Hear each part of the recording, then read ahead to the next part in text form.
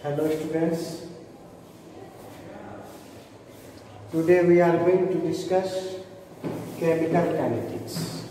Okay. In chemical kinetics, we will study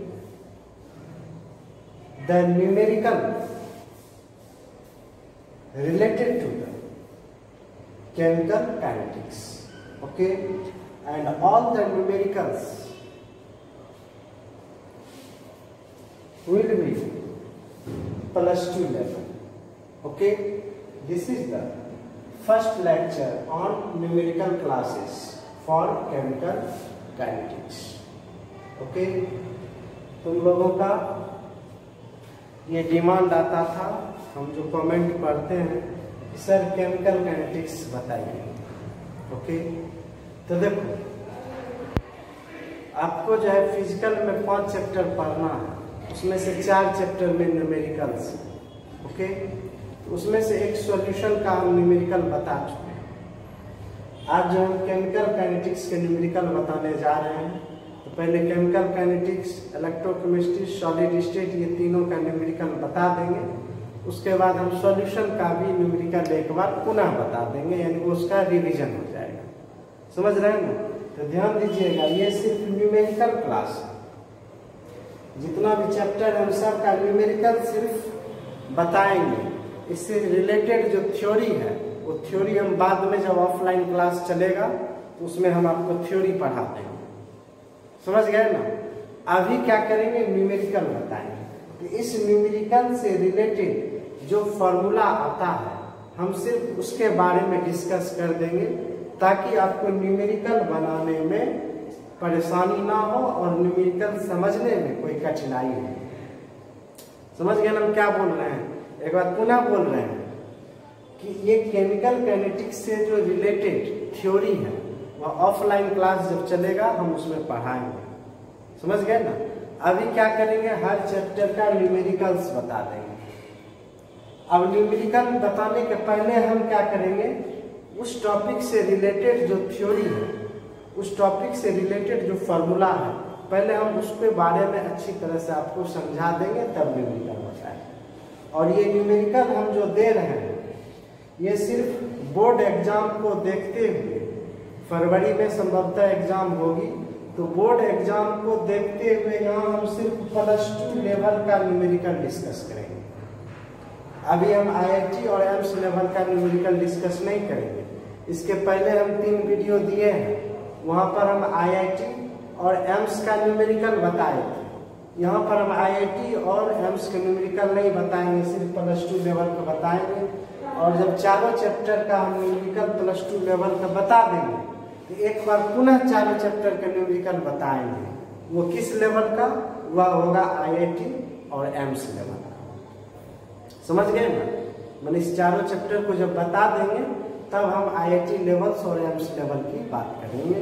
अभी आप plus two level का numerical देखिए ओके समझ गए ना?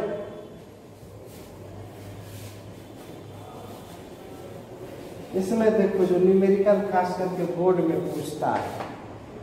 पहले आपको थोड़ा सा थ्योरी इसका बताते हैं, तब न्यूमेरिकल पर हम डायरेक्ट आते हैं। एक है rate expression rate expression for first order reaction okay rate expression for first order reaction देखो इसका हिंदी हुआ प्रथम कोटि की अभिक्रिया का व्यंजक एक्सप्रेशन मतलब व्यंजक या इक्वेशन कहेंगे इसके बारे में हम आपको बता रहे ओके? तो कोई भी केमिकल रिएक्शन में क्या होता है? कि देखो, ये रिएक्टेंट है। ये हो जाता है कन्वर्ट हो जाता है किस प्रोडक्ट में। है ना? रिएक्टेंट आर से डिनोट किए, ये कुछ समय के बाद क्या होता है? प्रोडक्ट में बदल जाता है। तो जैसे जैसे टाइम बीतता है, वैसे उसे रिएक्टेंट का कंसंट्रेशन समय के साथ डिक्रीज करता है। रिएक्टेंट का सांद्रण समय के साथ घटता है और प्रोडक्ट का कंसंट्रेशन समय के साथ बढ़ता है। समझ गए ना? तो मान लेते हैं कि इनिशियल कंसंट्रेशन इसका क्या है? ए है। ए मोल पर लीटर अब ए मोल पर लीटर का अर्थ हुआ जैसे फाइव मोल पर लीटर टेन मोल पर लीटर फिफ्टीन मोल पर लीटर उसी को जनरल इक्वेशन बनाने के लिए हम क्या लिए? ए मोल पर लीटर लिए। और जब टाइम ज़ीरो है, उस समय प्रोडक्ट कंसंट्रेशन क्या होगा? ज़ीरो क्योंकि रिएक्शन जब होगा, दो मिनट, पाँच मिनट, दस मिनट होगा, तब ना प्रोडक्ट कुछ बनेगा। अभी रिएक्शन स्टार्ट नहीं हुआ। तो प्रोडक्ट की कंसंट्रेशन क्या होगा बच्चों? बताओ। ज़ीरो और जैसे जैसे टाइम लैप्स करेगा रिएक्टेंट का कंसंट्रेशन घटेगा, यानी रिएक्टेंट खर्च होगा और प्रोडक्ट बढ़ेगा। रिएक्टेंट जितना खर्च होगा, उसी हिसाब से प्रोडक्ट बढ़ेगा। तो रिएक्टेंट का कंसंट्रेशन कितना खर्च हुआ, ये तो हम नहीं जानते हैं। हो सकता है पाँच परसेंट खर्च हुआ हो, दस परसेंट खर्च हुआ, पच्चीस परसेंट खर्च हुआ हो। कितना खर्च हुआ है तो मान लेते हैं क्या? एक्स रिएक्टेंट का एक्स कंसंट्रेशन खर्च हुआ। तो जितना रिएक्टेंट खर्च होगा, उतना प्रोडक्ट बनेगा। इसीलिए अभी क्या होगा एक्स ओके चूँकि रिएक्टेंट खर्च हो रहा है, यहाँ माइनस देंगे यहाँ प्रोडक्ट बन रहा है, क्या दें? प्लस दें। ये बात आप समझ गए? कि शुरू में इनिशियल कंसंट्रेशन ए उसमें से एक्स खर्चा है ना इसीलिए क्या दिए माइनस और चूँकि प्रोडक्ट बन रहा है क्या दिए प्लस तो शुरू में ए था, उसमें से एक्स खर्चा हो गया तो बचा क्या? ए माइनस एक्स ये लाइन आप समझे? टी समय के बाद, यह क्या है? जब T equal to zero initial concentration मतलब टी इक्वल टू ज़ीरो उस समय ये क्या है? ए है. ए है ओके और जैसे जैसे टाइम बीतता है रिएक्टेंट खर्च हुआ, कितना खर्च हुआ? एक्स तो बनेगा भी क्या? एक्स तो बचा क्या? ए माइनस एक्स पूछेगा ए माइनस एक्स क्या है? रिएक्टेंट का वह पोर्शन रिएक्टेंट का वह हिस्सा, जो खर्च होने के बाद शेष बच जाता है। वह क्या है? ए माइनस एक्स आई क्या हुआ? एक्स प्रोडक्ट बना। अब इसी को जब हम इंटीग्रेट कर देंगे तो एक इक्वेशन लाएँगे उसी इक्वेशन का नाम होगा इंटीग्रेटेड रेट इक्वेशन और रेट एक्सप्रेशन अब देखो तुम लोग के सिलेबस में दो पढ़ना है। एक पढ़ना फ़र्स्ट ऑर्डर उसको हिंदी में कहते हैं प्रथम कोटि। फ़र्स्ट ऑर्डर फ़र्स्ट मतलब प्रथम ऑर्डर की हिंदी क्या होगा? कोटि। तो फ़र्स्ट ऑर्डर रिएक्शन का अलग इक्वेशन होगा और ज़ीरो ऑर्डर का इक्वेशन का अलग एक्सप्रेशन होगा। यही दो हमारे सिलेबस में। फ़र्स्ट ऑर्डर और ज़ीरो ऑर्डर उसका व्यंजक हम लोग को पढ़ना है। तो डायरेक्ट हम इसका फॉर्मूला लिखते हैं। क्योंकि जब ऑफलाइन क्लास चलेगा, वहाँ हम क्या करेंगे, इसको कैलकुलेट करके निकालेंगे। थोड़ा सा जस्ट आइडिया दे दीजिए। यहाँ पर देखो इंटीग्रेशन रेट इक्वेशन आता है इसका। K equal to two point three zero three by T log A by A minus X एकदम जैसे ही फ़र्स्ट ऑर्डर देगा, इस पर न्यूमेरिकल बनाने के लिए आप फट से ये इक्वेशन लिख लीजिए। अब कहोगे सर कहाँ से लाए? यही तो बताए इसको इंटीग्रेट करने के बाद ये इक्वेशन हमको आता है। हम डायरेक्ट लिख दिए आप इक्वेशन को याद रखिएगा। इसी को सारा नोट अब कहोगे, सर, यहाँ के क्या है? यहाँ जानना है। के क्या है? तो के को हम लोग कहते हैं रेट कांस्टेंट क्या बोलते हैं? रेट कांस्टेंट इसको हिंदी में कहते हैं दर स्थिरांक थोड़ा सा इधर से लिखते हैं, बोर्ड भाग जाता है। के को हम लोग क्या कहेंगे? रेट कांस्टेंट हिंदी में क्या कहोगे? द स्थिरांक या नियतांक भी बोला जाता रेट कांस्टेंट इसी का देखो दूसरा नाम है वेलोसिटी कांस्टेंट वेलोसिटी constant. इसी को क्या कहो? वेग स्थिरांक. दोनों लैंग्वेज का यूज़ करेगा न्यूमेरिकल समझे ना? आप जानिएगा तब न के क्या नहीं जानिएगा तो कैसे बनाओ दे देगा। कि कोई प्रथम कोटि की अभिक्रिया है, कोई फ़र्स्ट ऑर्डर रिएक्शन है, जिसके लिए रेट कॉन्स्टेंट का मान फाइव आप समझ जाइएगा कि क्या दिया है? के का मान दिया है। यानी के को कहते हैं रेट कांस्टेंट या वेलोसिटी कांस्टेंट हिंदी में कहेंगे दर स्थिरांक या वेग स्थिरांक। समझ गए? अब क्वेश्चन टी क्या है? तो टी टाइम टी टाइम यह जो है सेकंड में रहेगा मिनट में रहेगा आवर में रहेगा, जो भी रहेगा। ओके अब क्वेश्चन ए क्या? वही हम बता रहे थे शुरू में कि शुरू में रिएक्टेंट जो है रिएक्शन हम करा रहे रिएक्शन स्टार्ट किए तो मान लो हम पाँच मोल पर लीटर रिएक्टेंट जो है, लेके रिएक्शन को स्टार्ट तो ए तुम्हारा क्या है? Initial concentration initial concentration initial concentration को हिंदी में कहते हैं? प्रारंभिक सांद्रण। प्रारंभिक सांद्रण। को सर इनिशियल कंसंट्रेशन या प्रारंभिक सांद्रण किसको को यानी जब t इक्वल टू ज़ीरो जब रिएक्शन स्टार्ट नहीं हुआ है किसी रिएक्शन को कराने के लिए, किसी रिएक्शन के स्टडी किसी रिएक्शन के मैकेनिज्म को स्टडी करने के लिए प्रारंभ में हम 10 मोल पर लीटर कोई पदार्थ लिए, वही 10 मोल पर लीटर हमारा क्या हुआ? इनिशियल कंसंट्रेशन उसको हम किससे डिनोट किए? ए से, वही है यहाँ ए यानी टी इक्वल टू जब ज़ीरो है, उस समय जो पदार्थ की मात्रा है उसी को क्या कहेंगे? ए अब कहोगे, सर एक्स क्या? एक्स है रिएक्टेंट का वह हिस्सा जो प्रोडक्ट में बनता रिएक्टेंट चूँकि रिएक्शन में जितना रिएक्टेंट खर्च होगा, उतना प्रोडक्ट बनेगा। इसीलिए एक्स को दोनों नाम है।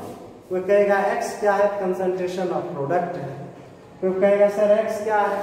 कहेगा रिएक्टेंट का वह हिस्सा जो रिएक्शन में खर्च हुआ, वही एक्स है। ओके चूँकि रिएक्शन में जितना रिएक्टेंट खर्च होता है, उतने प्रोडक्ट बनता है। तो एक्स क्या है? एक्स कह देंगे कंसंट्रेशन कंसंट्रेशन को देखो शॉर्ट में लिखते हैं C O N C C O N C concentration of product मतलब उत्पाद का सांद्रण ओके? या रिएक्टेंट का वह हिस्सा जो रिएक्शन में खर्च हुआ, वह भी एक्स एक्स के दोनों ना तो ए हुआ इनिशियल एक्स क्या हुआ? वह हिस्सा जो खर्च हुआ। तो ए माइनस एक्स क्या हुआ? खर्च होने के बाद जो शेष बच जाता है। ए माइनस एक्स क्या हुआ? Concentration left after time t. t समय के बाद, या concentration of reactant left after time t. T समय के बाद, t समय के बाद रिएक्टेंट का शेष सांद्रण उसी को शेष सांद्रण ठीक? पूरा करेंगे टी समय के बाद रिएक्टेंट का शेष सांद्रण में ना बचा हुआ। फिर समझिएगा, ये क्या है? प्रारंभिक सांद्रण जैसे हम मान लो पचास रुपया लेके बाज़ार गए, वही हमारा क्या होगा? ए समझ गया? उसमें से हमने दस रुपया खर्च कर दिया, वही क्या हुआ? एक्स क्लियर हुआ? पचास रुपया लेके बाज़ार गए, वही हमारा क्या हुआ? ए उसमें से हमने दस रुपया खर्च कर दिया, वही मेरा क्या हुआ? एक्स तो दस खर्च कर दिया था अभी कितना बचा मेरे पास? चालीस बचा ना? तो वही फिफ्टी माइनस टेन वही क्या हुआ ए माइनस एक्स तीनों टर्म समझ गए? ये सब टर्म जब तक आप नहीं समझिएगा, तब तक न्यूमेरिकल नहीं बनेगा। पचास रुपया लेके बाज़ार गए, ये उसी को कहते हैं इनिशियल कंसंट्रेशन उसमें से हमने दस रुपया खर्च किया तो वही हुआ हमारा एक्स दस रुपया खर्च किए तो दस रुपया का सामान आया ना? तो आप क्या कहिएगा? दस रुपया का हम सामान लिए या दस रुपया हम खर्च किए? वही एक्स तो बचा कितना? पचास माइनस दस minus a minus x t समय के बाद शेष सामने। ओके? सारा टर्म आप समझ गए? अक्सर ये क्वेश्चन कैसे आया? जब ऑफलाइन पढ़ाए ना क्लास उसमें हम इसको ड्राइव करके बताएँगे कि कैसे आए। ओके कैसे आए। उसके बाद देखिए। उसके बाद देखिए यहाँ पर। इसी में आपको कभी कभी ऑब्जेक्टिव पूछ देगा स्लोप निकालने के स्लोप कैसे निकलता है? देखो स्लोप निकाला जाता है यहाँ पर। Log a by a minus x और ये हुआ टाइम एक्स एक्सिस पर हमने टाइम को दिया और वाई एक्सिस पर हमने लॉग ए माइनस एक्स को दिया. ओके तो जब हम इस इक्वेशन को ड्राइव करेंगे तो यहाँ एक स्ट्रेट लाइन इक्वेशन आता है y equal to m x plus c उसी आधार पर हम इसको प्लॉट किए हैं. तो उसका जो है स्लोप आता है इस तरह से. ओके तो देखिए स्लोप जो है, आप याद रखिएगा इसको। स्लोप इक्वल टू होता है k by two point three zero three आपको आ जाएगा कि फ़र्स्ट ऑर्डर रिएक्शन का स्लोप क्या होता है ऑब्जेक्टिव तो याद रखिएगा k by two point three zero three okay inter slope slope का मतलब हुआ ढलान। जो ढाल होता है, उसे क्या कहते हैं? स्लोप उसके बाद देखो। इंटरसेप्ट इंटरसेप्ट कितना है? ज़ीरो इंटरसेप्ट मतलब कटान यहाँ कट कर रहा है, यहाँ ज़ीरो एक्सिस को ही ना? इसीलिए इस केस में इंटरसेप्ट हमारा क्या होगा बच्चों? ज़ीरो समझिए इस दोनों पॉइंट को याद रखिएगा। यहाँ तो जस्ट हम न्यूमेरिकल पढ़ने जा रहे हैं, इसी हिसाब से हम क्या किए? शॉर्ट में थ्योरी बता दिए, कुछ आपको समझ में आ जाए। अब हम डायरेक्ट न्यूमेरिकल बताएँगे। तो नहीं समझिएगा कि फॉर्मूला कहाँ से आया नहीं आया। एक बार सुन तो समझ में आ गया कि ये रेट इक्वेशन है किसके लिए? फ़र्स्ट ऑर्डर के किसके लिए है? फ़र्स्ट ऑर्डर वही जब ज़ीरो ऑर्डर होगा तो दूसरा इक्वेशन होगा। सेकेंड ऑर्डर होगा तो तीसरा इक्वेशन होगा। समझ रहे हैं ना? इसीलिए लाइन ज़रूर दिया रहेगा। फ़र्स्ट ऑर्डर मतलब प्रथम कोटि की अभिक्रिया के लिए यह व्यंजक है। प्रथम कोटि की अभिक्रिया के लिए यह क्या हुआ? व्यंजक हुआ। और यह फ़र्स्ट ऑर्डर का स्लोप हुआ। यह फ़र्स्ट ऑर्डर का क्या हुआ? इंटरसेप्ट ओके इसी में देखो एक दूसरा आता है। आवाज़ क्लियर है बच्चों?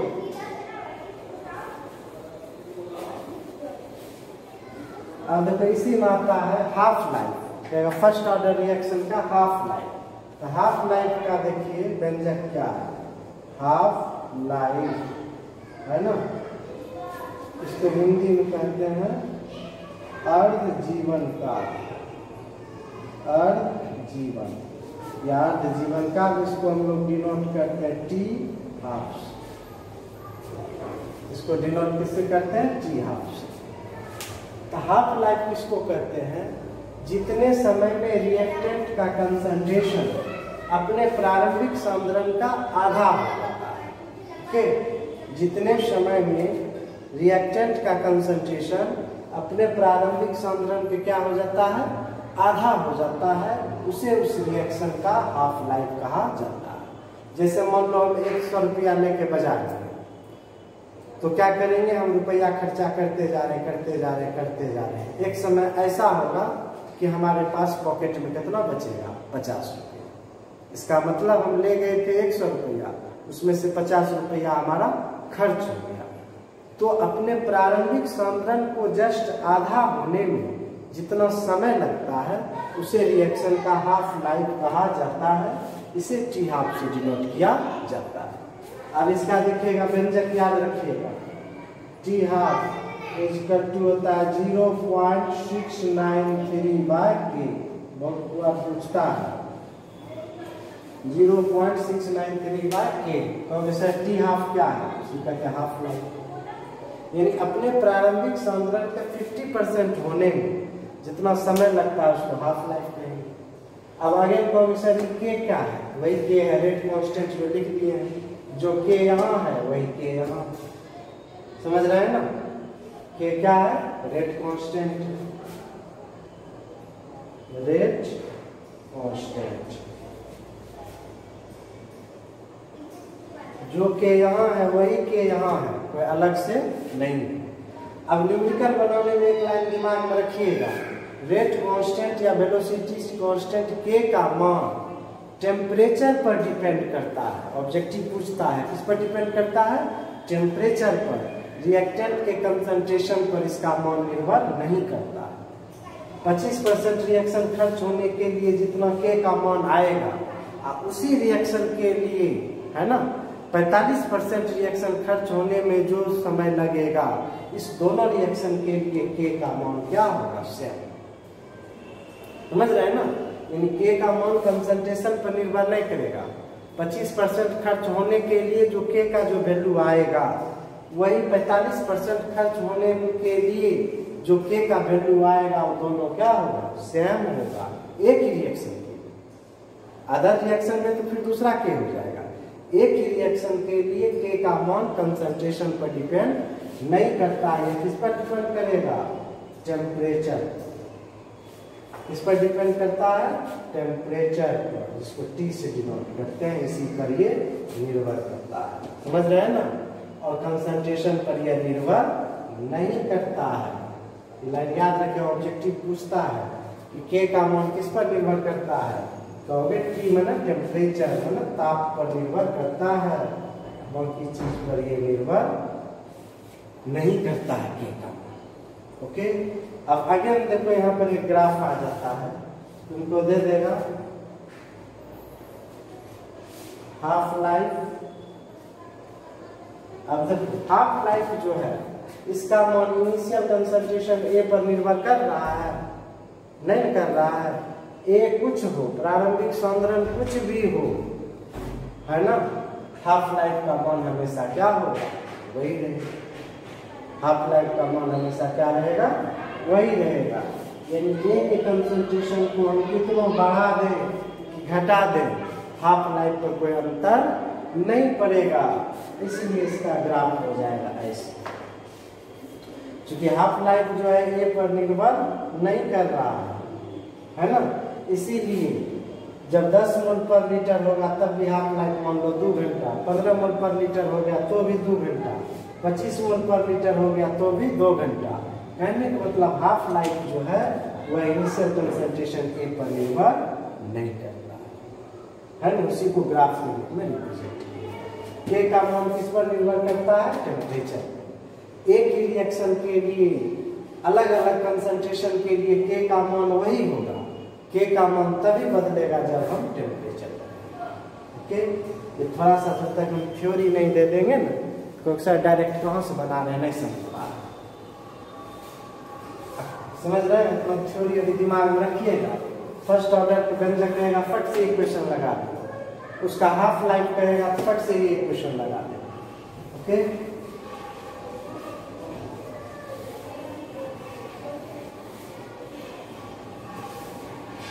अब देखो कभी कभी गैसियस फ़ेज़ के लिए दे देता है। गैसियस फ़ेज़ के लिए। रिएक्टेंट ए जो गैसियस फ़ेज़ में रिएक्शन के बाद बनाया बी गैसियस फ़ेज़ में है सी ये भी गैसियस फ़ेज़ तो देखो इक्वेशन एक ही होता है। सिर्फ़ गैसियस फ़ेज़ में क्या होता है? कंसंट्रेशन की जगह। कंसंट्रेशन की जगह हम लोग किसका यूज़ करेंगे? कंसंट्रेशन की जगह हम लोग यूज़ करेंगे प्रेशर कंसंट्रेशन की जगह यूज़ करेंगे किसका? प्रेशर आ समझ में.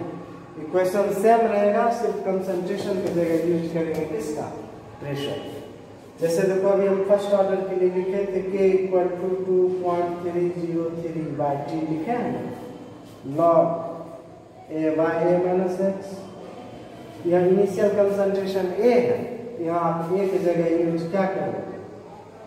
पी नॉट यहाँ ए को कहेंगे इनिशियल कंसंट्रेशन यहाँ ए को क्या, यहाँ पी नोट को क्या करोगे? इनिशियल प्रेशर ज़ीरो को नोट पढ़ा पी नोट को क्या करोगे? इनिशियल प्रेशर एक्स क्या है? रिएक्टेंट का वह हिस्सा जो खर्च हुआ। या कंसंट्रेशन ऑफ़ प्रोडक्ट तो यहाँ पी क्या है? प्रेशर ऑफ़ प्रोडक्ट या रिएक्टेंट का वह हिस्सा जितना से प्रेशर घटा, वही क्या है? P okay? A minus x की जगह आप क्या लिखोगे? पी नॉट माइनस पी लिखोगे? तो देखो इक्वेशन क्या हो जाएगा? A equal to two point three zero three बटे टी। लॉग ए की जगह क्या देंगे? P naught. By p naught minus आगे कहोगे सर पी नॉट क्या है? कहेंगे प्रारंभिक प्रेशर। क्वेश्चन ई पी क्या है? पी क्या हुआ? प्रेशर ऑफ़ प्रोडक्ट प्रोडक्ट का प्रेशर। है ना? Pressure of product. ओके? अब क्या करता है कभी कभी प्रॉब्लम में टोटल प्रेशर। है कभी कभी प्रोडक्ट में क्या करता है प्रॉब्लम में टोटल प्रेशर दे देता है। वहाँ पर देखिए क्या हम लोग यूज़ करते हैं। वहाँ पर हम लोग यूज़ कर देंगे k equal to two point three zero three बटे t log p naught by twice p naught minus p t okay वैसे हमने ले दिए पी नोट बाय तब क्या हो जाएगा? Twice p naught minus p t यहाँ पी टी क्या हुआ हमारा? टोटल प्रेशर जब टोटल प्रेशर दिया रहेगा, तब हम क्या करेंगे? यहाँ लिखेंगे ट्वाइस पी नोट माइनस समझ रहे हैं ना? ये सब जो थ्योरी दी है, उसको दिमाग में रखिएगा। क्योंकि ऑफलाइन जब क्लास चलेगा, इसमें है कुछ नहीं। तब हम उसको क्लियर करेंगे अब कहोगे, सर फ़र्स्ट ऑर्डर रिएक्शन कहते किसको तो वैसा रिएक्शन जिसका रेट सिर्फ़ वन कंसंट्रेशन टर्म पर निर्भर करता है, वैसा रिएक्शन जिसका रेट मतलब दर सिर्फ़ एक अभिकारक पर पर निर्भर करता है। सिर्फ़ एक अभिकारक पद के कंसंट्रेशन में परिवर्तन पर। निर्भर करता है, उसे फ़र्स्ट ऑर्डर रिएक्शन कहते हैं, प्रथम कोटि का विक्रिया कहते हैं। और ये जम जाओ ऑर्डर का मान एक्सपेरिमेंट से ज्ञात किया जाता है। रिएक्शन देखकर ऑर्डर का मान बताया नहीं जा सकता।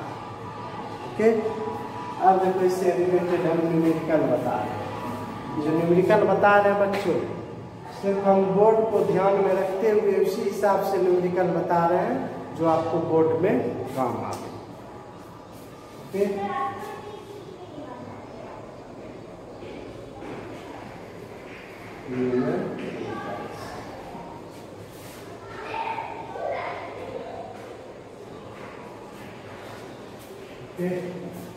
ओके।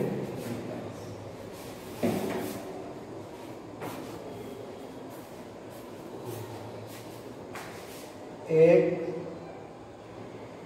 प्रथम कोटि एक प्रथम कोटि मतलब क्या first order first order Hindi, Angrezi दोनों लिख दिए, कहीं कोई दिक्कत नहीं। एक प्रथम कोटि की अभिक्रिया अभिक्रिया मन रिएक्शन रिएक्शन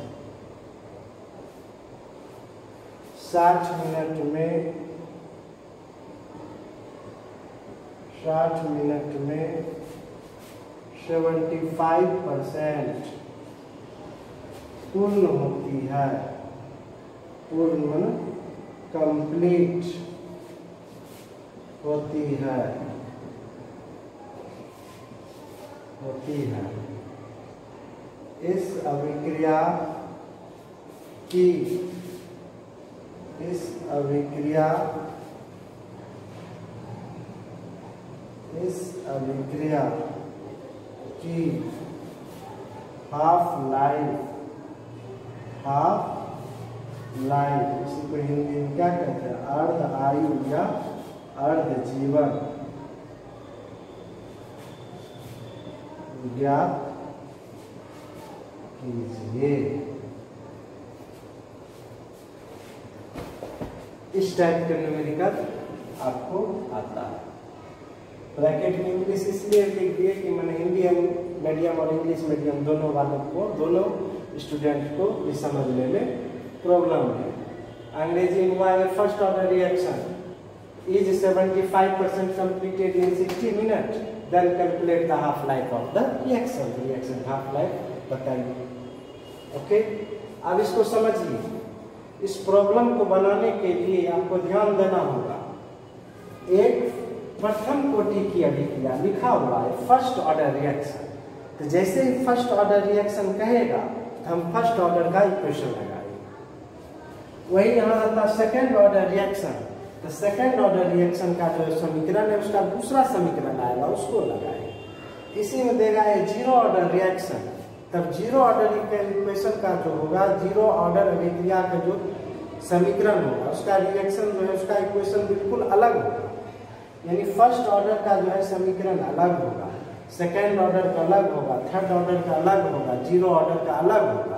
प्रत्येक ऑर्डर के लिए जो इक्वेशन होगा, उसका मान अलग अलग होगा। इसीलिए क्वेश्चन में दिया रहेगा कि हमको कौन सा ऑर्डर पढ़ना है।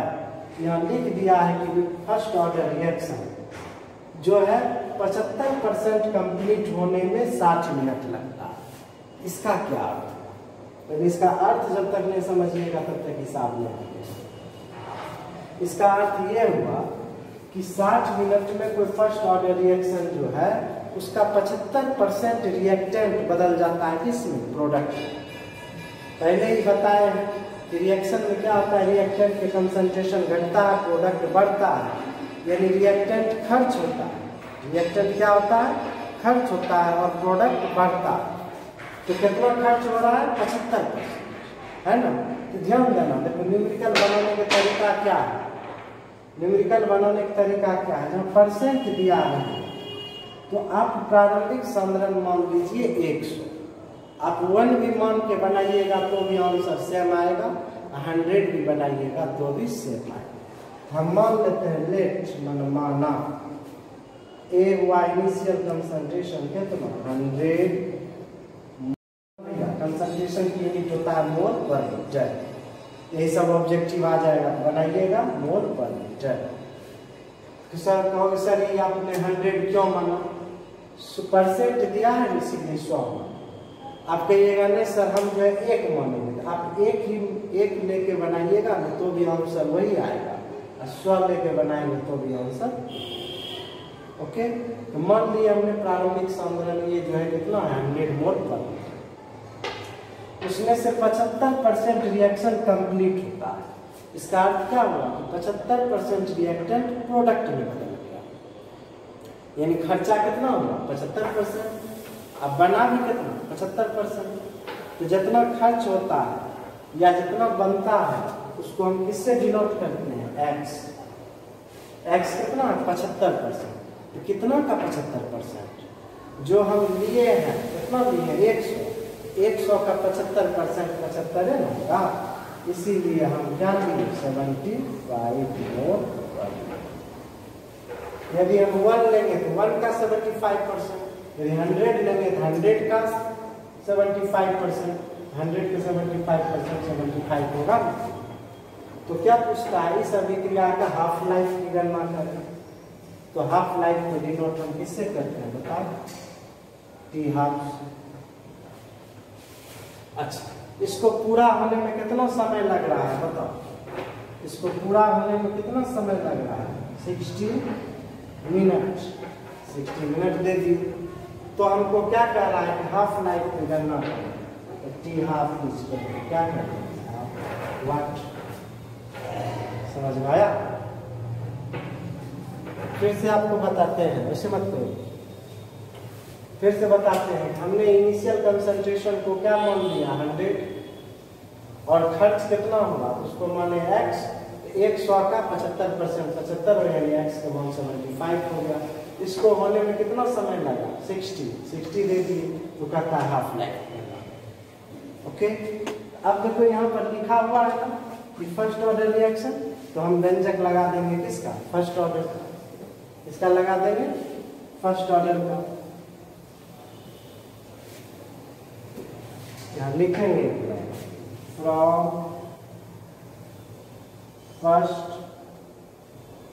ऑर्डर रिएक्शन प्रथम कोटि की अभिक्रिया से हम क्या जानते हैं? देखो न्यूमेरिकल बनाने के लिए क्या करना है? डायरेक्ट फॉर्मूला लगाना इसलिए हम फॉर्मूला पहले बता दी two point three zero three by t log a by a minus h अब ए क्या है एक्स क्या है माइनस एक्स क्या है के क्या है टी क्या है पहले बता चुके k equal to two point three zero three t के जगह दे दिए सिक्सटी लॉग ए कितना है हंड्रेड है ना? फिर यहाँ ए कितना है हंड्रेड एक्स कितना है seventy five x comma seventy five बैठा दिए समझे ना? फिर k equal to two point three zero three by sixty log hundred butter twenty five है ना? कट गया कितना? Log four log four okay log four अब यहाँ ध्यान दीजिएगा। Log 2 तो k to two point three zero three by sixty log four को क्या लिखेंगे अब फोर देखो यहाँ लॉग फोर पर टेबल आना चाहिए देखने के लिए। जब तक लॉग टेबल देखने नहीं आएगा, तब तक आपको प्रॉब्लम नहीं बनेगा। तो केमिस्ट्री में एक लाइन दिमाग में रखना कि लॉग टू का मान हमेशा याद है कितना होता है। समझ रहे हैं ना? तब क्या होगा आपको बनाने में सुविधा होगा। Two two point three zero three sixty इसको हम लिख सकते हैं टू पर पावर टू अब लॉग एम पर पावर एम क्या होता है? N log m two point three zero three by sixty two log two. ये समझे? मैथ का फॉर्मूला है लॉग एम पर पावर एन विच कर two n log n n की जगह टू है तो टू आगे कर तो लॉग टू ओके अब लॉग टू का वैल्यू एकदम याद रखिए हमेशा तुमको प्रॉब्लम में इसकी ज़रूरत पड़ेगी तो k equal to two point three zero three by sixty Guna two log two का वैल्यू होता है zero point three zero one zero याद रखना। तो सर टू है तब ना लॉग थ्री रहेगा, तब क्या है? उसका वैल्यू टेबल आपको एग्ज़ाम में दिया रहेगा, उसको देख के लीजिए ये याद करने की चीज़ नहीं है। तो सर लॉग फोर तो बैठ गया लॉग फाइव रहेगा, तब क्या करें तो लॉग फाइव का वैल्यू देख के बैठा समझे? अब सबको क्या करेंगे भैया? गुना करके भाग दे देंगे। गुना करके भाग दे देंगे। तो के का मान तुम्हारा आ जाता है two point three one into ten to the power two point three one ten to the power minus two minus two okay तो देखो, इस सबको मल्टीप्लाई कर दिए two point three zero two point three zero three into two into zero point three zero one zero by sixty सबको multiply करके जब divide कर दिए तो के का मान कितना आया? Two point three one into ten two power minus two ये क्या हुआ? पर मिनट चूँकि मिनट है तो पर मिनट ऑब्जेक्टिव आ जाता है कि फ़र्स्ट ऑर्डर रिएक्शन का जो है यूनिट क्या होता है? इसका यूनिट होता है पर सेकेंड पर मिनट पर आवर यदि प्रॉब्लम में रहेगा सेकेंड तो के का यूनिट देंगे पर सेकेंड प्रॉब्लम में रहेगा मिनट तो क्या देंगे? पर मिनट आवर रहेगा तो क्या देंगे? पर आवर तो हम इससे क्या किए? के का वैल्यू निकाल लिए कॉन्स्टेंट के का वैल्यू निकाल लिए अभी बच्चों याद रखना है, लिख लिए लॉग टू का मान कितना होता है? Zero point three zero one zero ये याद रहेगा, आप फट से इसका वैल्यू बैठा दीजिए. ओके तो हम क्या निकाल दिए के निकाल हमको के तो नहीं पूछ। रहा यहाँ पूछ रहा है half life first order reaction पे क्या पूछ रहा है भैया? हाफ़ लाइफ तो हम क्या जानते हैं? From half life half life first order reaction पे देखो अगेन हाफ़ लाइफ अलग होगा। और ज़ीरो ऑर्डर के लिए हाफ़ लाइफ अलग होगा। इसका हाफ़ लाइफ हम आपको क्या बता रहे हैं t half equal to zero point six nine three बटे के ये फ़र्स्ट ऑर्डर रिएक्शन का हाफ़ लाइफ यहाँ के को क्या कहेंगे? रेट कांस्टेंट तो देखो, पहला से हम, पहला डाटा से हम क्या किए? के का वैल्यू निकाल लिए यही के का वैल्यू वहाँ क्या करेंगे पुट कर देंगे। हमारा हाफ़ लाइफ आ जाएगा। समझे हम क्या किए? हमारा क्वेश्चन है कि हाफ़ लाइफ कितना होगा? हाफ़ लाइफ हम जानते हैं zero point six nine three by k होता। है अब के तो क्वेश्चन में दिया हुआ है। तो हम क्या करेंगे? पहला डाटा से के निकालेंगे। तो के आ गया two point three one into ten two power minus अब हम इस के का मान यहाँ पर क्या करेंगे? पुट कर देंगे। तो t half equal to zero point six nine three by two point three one into ten two power minus two t half six nine three into ten to the power two by two point three one कटा दोगे, है ना? यहाँ point उड़ा देंगे, यहाँ point के बाद दो अंक यहाँ तीन अंक है फाइनली हो जाएगा वन एक ज़ीरो एक ज़ीरो, कट जाएगा, तीन बार कट जाएगा तो टी हाफ़ इज़ करके क्या हो गया? थर्टी मिनट यही हमारा क्या हुआ? समझे नहीं समझे? ये बताओ। हमारा क्वेश्चन है कि हाफ़ लाइफ क्या होगा हाफ़ लाइफ का फॉर्मूला होता है zero point six nine three बटे के और के का वैल्यू क्वेश्चन में दिया हुआ है ये। हम क्या किए? पहला डाटा से के निकाले। तो के का वैल्यू आ गया है इतना। अब इस के के यहाँ बैठा दिए। उसको भाग दे दिए। भाग देने के बाद कितना आ जाए? थर्टी मिनट यानी थर्टी मिनट में जो है रिएक्शन क्या हुआ? पचहत्तर परसेंट खर्च हुआ। यही हमारा आंसर ये सब न्यूमेरिकल आएगा कंप्लीट पाँच नंबर का आएगा समझ रहे हैं ना? अब यूनिट निकालने के लिए हम आपको बताएँगे अभी हम थोड़ा सा बता देते हैं कि देखो फ़र्स्ट ऑर्डर रिएक्शन जो है ना, इसका यूनिट होता है पर सेकेंड क्या होता है? पर सेकेंड यदि मिनट में डाटा रहेगा तो क्या होगा? पर मिनट यदि आवर है तो क्या होगा? पर समझ गए या क्या? होगा फ़र्स्ट ऑर्डर रिएक्शन का यूनिट है ना?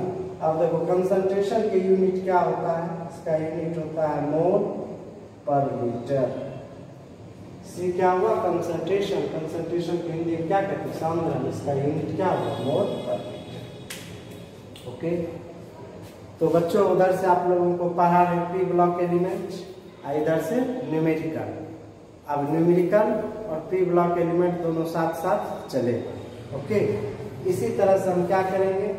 हर चैप्टर के न्यूमेरिकल बता दें जैसे अभी पहले फ़र्स्ट ऑर्डर रिएक्शन पे न्यूमेरिकल बताएँगे। फिर जब ज़ीरो फिर पढ़ाएँगे ज़ीरो ऑर्डर रिएक्शन तो फिर ज़ीरो ऑर्डर का थोड़ा सा थ्योरी बता देंगे। फिर उस पर न्यूमेरिकल बताएँगे। फिर आपको जो है ऑर्डर ऑफ़ रिएक्शन उस पर न्यूमेरिकल बता देंगे। उसके बाद आरएनएस इक्वेशन है, उस पर न्यूमेरिकल बता देंगे। तो न्यूमेरिकल जो हम एक एक करके पहले केमिकल काइनेटिक्स खत्म कर देंगे। हर टॉपिक का। तब आएँगे इलेक्ट्रोकेमिस्ट्री पर, तब आएँगे सॉलिड स्टेट तब कहाँ आएँगे? सॉल्यूशन ओके तो इसी तरह से एक दो दिन जो है, कभी हम जो है पी ब्लॉक एलिमेंट पढ़ाएँगे, कभी हम न्यूमेरिकल की क्लास लेंगे। इसी तरह से हम क्लास लेते रहेंगे। समझ रहे हैं ना? ये जो वीडियो दे रहे हैं न्यूमेरिकल के ख्याल से ये बहुत इम्पोर्टेंट वीडियो है। आप ज़रूर इसको जो है पढ़िएगा, ध्यान लगा के और इसको लाइक और सब्सक्राइब करना नहीं भूलिएगा। और फ्रेंड्स को भी शेयर ज़रूर कीजिएगा, क्योंकि हम जो ये न्यूमेरिकल बता रहे हैं। यहाँ हम आईआईटी लेवल का नहीं बता रहे हैं एम्स लेवल का नहीं बता रहे हैं। यहाँ हम सिर्फ़ बोर्ड एग्ज़ाम को ध्यान में रखते हुए प्लस टू लेवल का न्यूमेरिकल हम सभी चारों चैप्टर का बता देंगे ये वीडियो आपके लिए बहुत ही उपयोगी है। और जब पढ़िएगा तब आपको इसका मतलब सिग्निफिकेंस या महत्व पता चलेगा ओके थैंक्स